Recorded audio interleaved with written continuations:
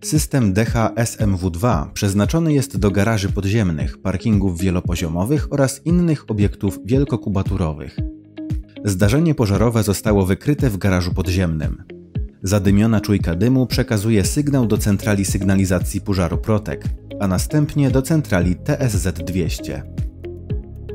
Następuje otwarcie klap wentylacji pożarowej na szachtach nawiewnych i oddymiających.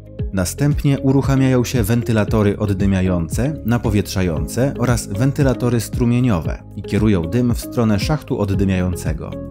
Realizacja takiego scenariusza umożliwia bezpieczną ewakuację z garażu, usunięcie dymu oraz sprawne działanie służb ratowniczych.